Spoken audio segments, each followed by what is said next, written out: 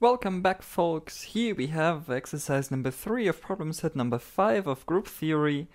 We're investigating the C infinity V group, which consists out of all rotations around a fixed axis, and then we also take all reflection planes which go through this fixed axis into account.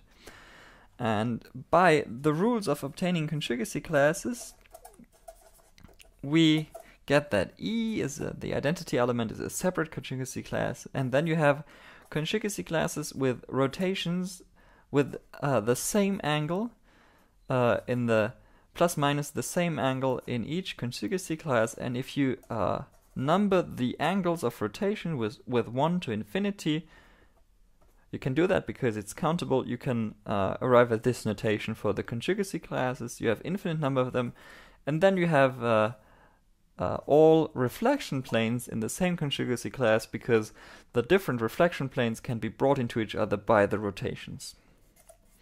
So that's enough to uh, start off by writing down the character table right here.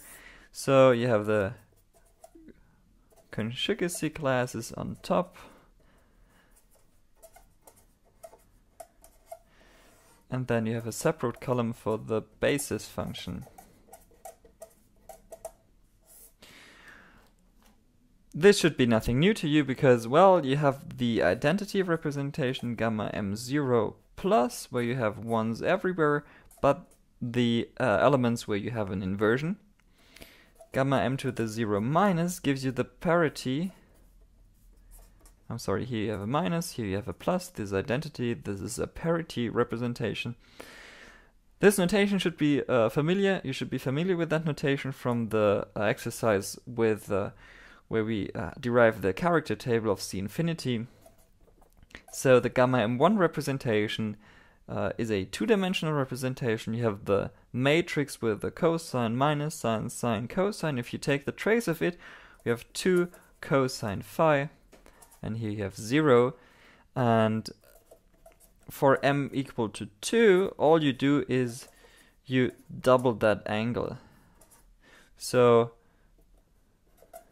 a general, uh, the general gamma mth irreducible representation, uh, the character of r plus minus phi looks like 2 times cosine m phi, and again a 0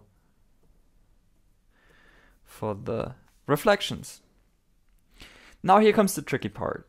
We want to distribute some basis functions. We choose the D1 basis functions of exercise number 2 for that, and we distribute them onto these uh, irreducible representations, and it's uh, kind of uh, something between guess, lucky guess or or know it. You should know it or you guess lucky, but uh, anyway. So what is left invariant under any rotation, any reflection is of course the screw axis, which is z. So z must be uh, a basis function, and also uh, a good basis function which is left invariant under any rotation and reflection is uh, one containing z's and r squared.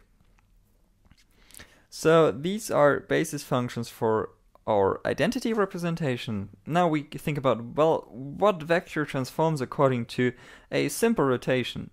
Well, uh, this is obviously true for an arbitrary vector x, y, and by the same argument we used above, x times z and y times z should transform according to m equal gamma m equal to 1 as well. Because again z is left invariant. Now for uh, gamma m equal to 2, we obtain x squared minus y squared, comma 2xy. This is kind of tricky to get. Um, this is one where you where you should know it. Um, when you go into the details and write down the uh, the rotation matrix applied onto a vector, uh, an arbitrary vector x, y with the twice, you uh, twice the angle, you do some geometric identities and you arrive at that formula, but it's a quite tedious calculation and it's not very instructive. So know it or don't know it, that's the thing over here. And these are some basis functions. You can do them uh, that same thing with other basis functions. Just some hints what you could do. Okay, thank you for watching. I hope you enjoyed it. If you have any questions, if you have, if you want me to write down that calculation, please send me an email and I do a separate video for it. But if there is no need for it, I won't do it. Okay, bye.